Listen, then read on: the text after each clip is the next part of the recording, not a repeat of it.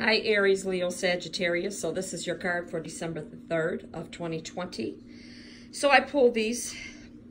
Um, so this is your card for December 3rd, 2020. Uh, Aries, Sun, Moon, Rising. So I got chemistry. I got soulmate. And I got the Knight of Coins. So some of you are going to meet somebody new that is your soulmate or you're getting back with somebody that is your soulmate. Could be a male, could be a female. But you're definitely getting back with somebody that is your soul mate. You have the chemistry, you love each other, your soulmate, and this person is very responsible. It's a very mature uh, person, person, very reliable, persistent. They're not going to give up. Very persistent. Okay?